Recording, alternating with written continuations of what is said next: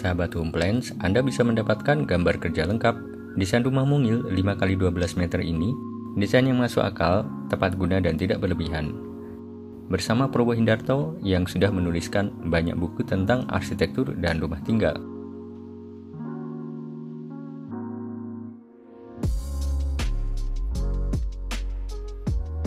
Sahabat home plans, berapa banyak di antara kita yang punya lahan mungil dengan ukuran terbatas? Tapi ingin desain rumah satu lantai karena biayanya masih cukup untuk membangun rumah satu lantai saja. Dalam desain kali ini, saya mempresentasikan satu desain yang semoga bisa menjawab kebutuhan rumah satu lantai di lahan 5x12 yang dilengkapi dengan sebuah ruang studio di bagian depannya.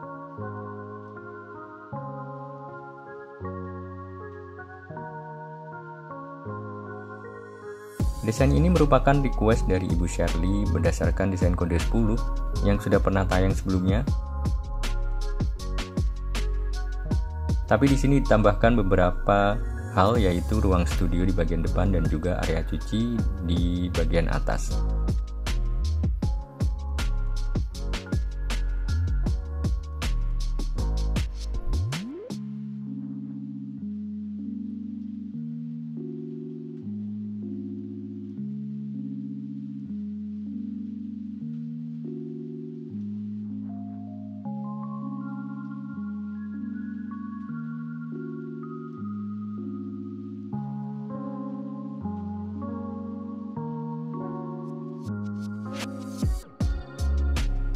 Bila kita lihat di sini, desainnya dibuat simple, sehingga tidak akan terlalu banyak memakan biaya. Dengan cara memaksimalkan elemen ornamentasi hanya pada fungsi saja. Misalnya adanya tempelan keramik motif batu pada salah satu dinding ini, yang sudah memberikan kesan estetik yang cukup berarti. Adapun untuk lantai carport sampai ke dalam rumah didominasi oleh keramik warna abu-abu untuk kesan yang lebih dingin dan modern.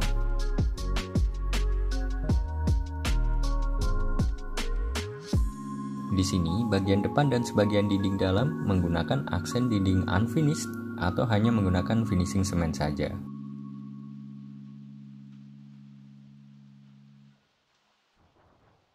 Dan seperti inilah bentuk atapnya yang nanti juga akan kita bahas lagi ya. Yaitu dengan adanya bentukan cerobong sebagai tempat keluar masuknya udara dari dapur dan kamar mandi.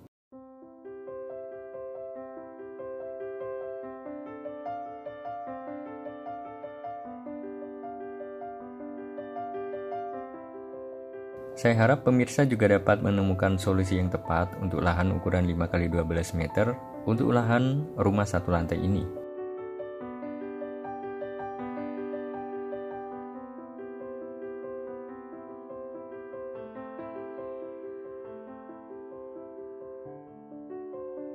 Dan sekarang kita akan masuk ke dalam bangunan, tapi sebelumnya tentunya kita akan membahas dulu untuk perletakan ruang-ruangnya. Jadi seperti inilah kalau kita akan memasuki pintu depan yang dibuat dengan pintu geser seperti ini guys.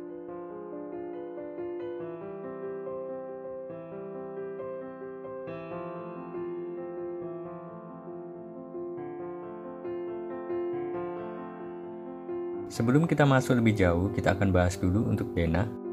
Sedangkan untuk ukuran-ukuran lengkap bisa dilihat nanti di akhir video ya. Sekarang saya ingin menunjukkan perspektif denahnya dulu dari rumah satu lantai ini.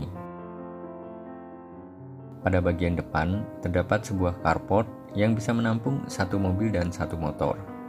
Kemudian ada satu ruangan studio yang bisa digunakan untuk tempat usaha atau apa pun yang diinginkan. Area ruang keluarga berbatasan dengan sebuah dapur, dengan akses menuju ke studio di depan. Kemudian ada kamar mandi, dilengkapi dengan wastafel, sebuah ruang keluarga lesehan, kamar tidur anak dengan akses tangga menuju ke lantai 2, serta kamar tidur utama yang dilengkapi dengan kamar mandi di bawah tangga.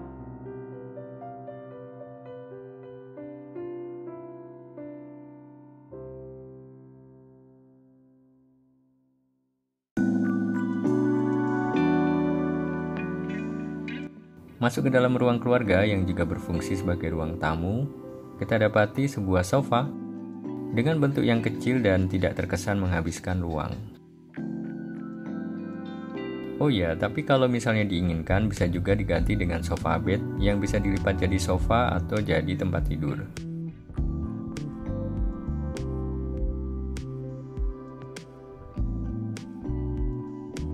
Seperti inilah area ruang keluarga dengan entertainment center.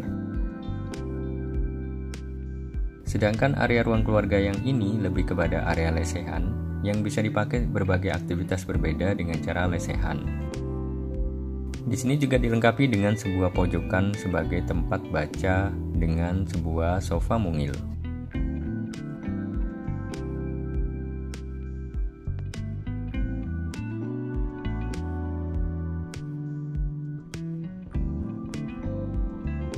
Pada dinding di seberangnya diberikan kabinet penyimpanan yang cukup banyak, karena kalau rumah mungil tentunya harus ada penyimpanan yang cukup untuk semua barang-barang.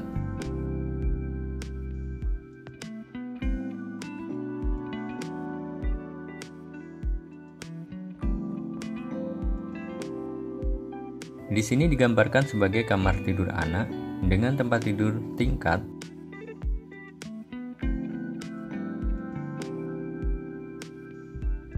Di sini juga ada akses menuju ke tangga di belakang.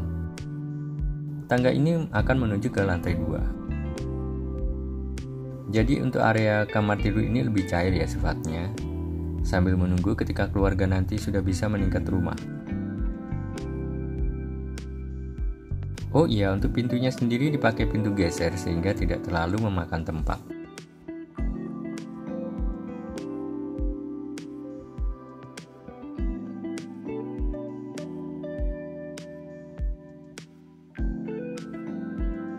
Ketika kita keluar, kita akan mendapati satu area untuk wastafel yang dilengkapi dengan cermin. Kemudian kamar mandi dengan kloset dan shower yang tentunya bisa lebih hemat tempat.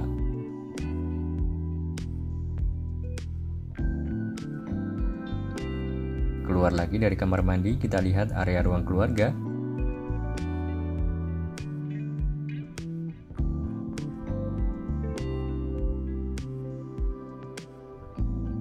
Di sini terlihat bahwa sarana penyimpanan adalah hal yang penting untuk diperhatikan.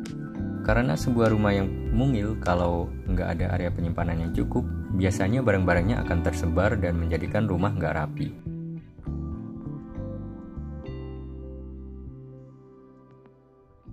Ini adalah area meja bar yang membatasi dari area dapur yang dilengkapi dengan dua buah kursi. Di sini bisa dipakai untuk breakfast dan juga beraktivitas seperti bekerja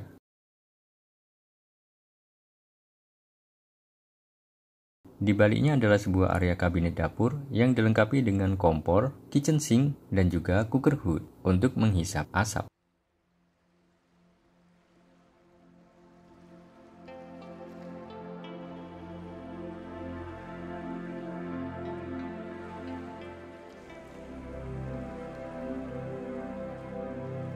Kemudian di depan dapur ada satu ruangan yang merupakan request dari owner yaitu sebuah ruang studio di mana di sini juga bisa dipakai sebagai ruang tambahan untuk usaha misalnya. Atau juga ruang bebas, misalnya seperti gudang kalau yang punya usaha online shop.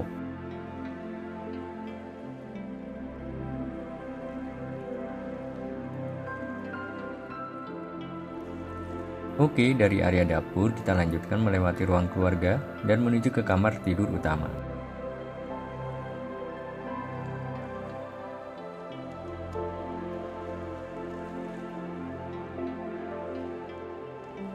Masuk ke dalam kamar tidur utama, kita akan lihat ada sebuah wardrobe pada salah satu sisi.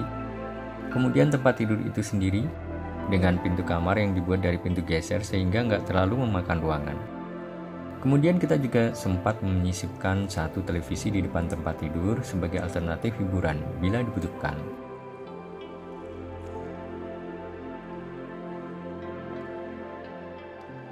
Adapun kamar mandi bisa diletakkan di bagian paling ujung.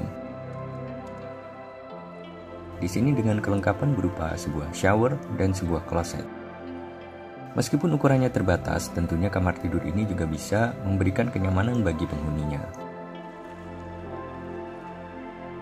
Kemudian dari kamar tidur anak tadi ada pintu ke arah belakang, yaitu menuju ke arah tangga. Sekarang kita naik tangga menuju ke lantai dua atau tempat cuci dan jemuran. Di sini kita lihat pada salah satu pojokan terdapat mesin cuci serta tempat untuk menjemur pakaian. Pada bagian atasnya diberikan atap polikarbonat sehingga air hujan tidak akan turun dan membasahi apalagi membanjiri kamar ya guys. Jadi aman di sini airnya sudah ditampung oleh atap transparan ini sekaligus sebagai atap agar cucian cepat kering.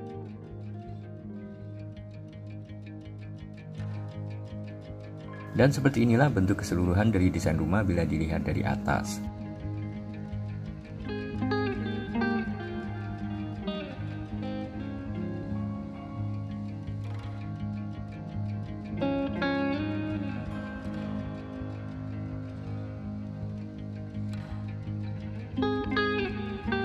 Pada bagian dak depan juga diberikan kerikil atau batu-batu kecil supaya bisa membantu mendinginkan suhu saat terkena sinar matahari langsung.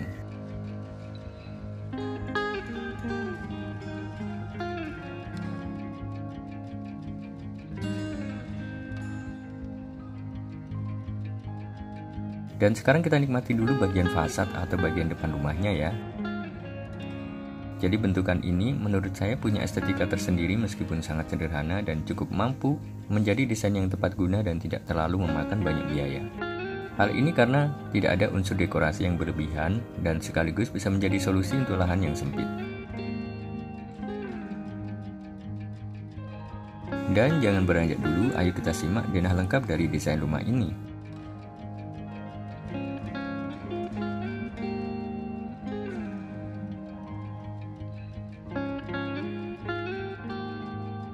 Ini adalah denah lantai 1. Dan ini denah lantai 2. Bila membutuhkan, Anda bisa memesan gambar kerja lengkap desain ini untuk referensi saat membangun.